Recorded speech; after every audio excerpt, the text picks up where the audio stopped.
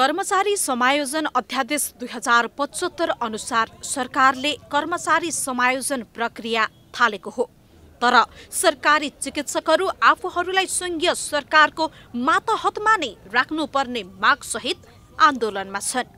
उनीहरू सरकारले समायोजन ऐनलाई मिचेर सहसचिव स्तरका एघारौँ तहका चिकित्सकलाई प्रदेशमा समायोजन गर्नु गैर कानुनी भएको गुनासो गरिरहेका छन्। हाम्रो माग सम्बोधन भएन भने हामी सामूहिक राजीनामातिर तर्फ अग्रसर छौँ र हामी देशभरिबाटै सामूहिक राजीनामाको लागि हस्ताक्षर सङ्कलन अभियान गर्छौँ र त्यो हस्ताक्षर सङ्कलन भइसकेपछि हामी त्यो सामूहिक राजीनामा बुझाउँछौँ। चिकित्सकहरू स्थानीय र प्रदेश तहमा समायोजन हुँदा अध्ययन अध्यापन तालिम र विशेष डिग्री लगायतका वृद्धि विकासमा बन्देज लाग्नेमा सशङ्कित छन्।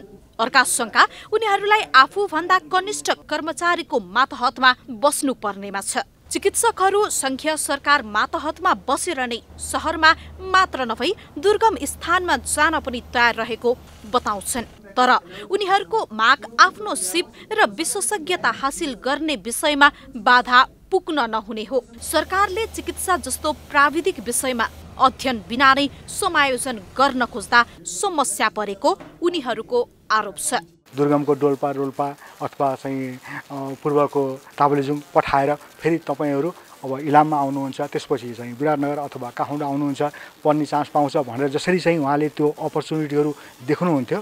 अब अहिले त्यो अपर्च्युनिटीहरू नदेख्ने भएको कारणले आफ्नो क्यारियरको लागि चिकित्सकहरू चिन्तित हुन्। उसो त पुस उनातिस गते चिकित्सकको आन्दोलनमा स्वास्थ्य मन्त्रालयले समायोजनका विषयमा सहमति जनाएको थियो। चिकित्सकहरूले भने स्वास्थ्य मन्त्रालयले नै सहमतिको फाइल लुकाउने काम गरेको आरोप लगाएका छन्। स्वास्थ्य मन्त्रालयले केही अमुक व्यक्तिहरूले यो टिप्पणीको फाइल लुकाइदिए। हामीले खोज्दा पनि भेटिएन। यसलाई तोड मोड गरेर यो टिप्पणीलाई अगाडि नै बढाइदिएन। यद्यपि मन्त्रालयले भने चिकित्सकको माग सम्बोधन गर्न पहल गरिरहेको जिकिर गर्छ।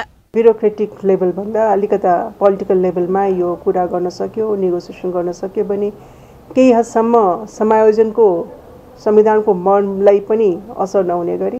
चिकित्सकहरूले आफ्नो वृद्धि विकास लगायत सहज सेवा सुविधाका लागि माग राख्नु उचित हो।